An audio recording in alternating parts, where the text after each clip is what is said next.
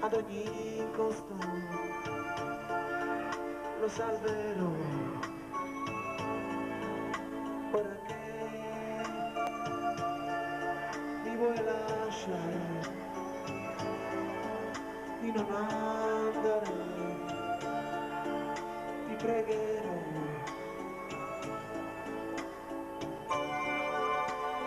E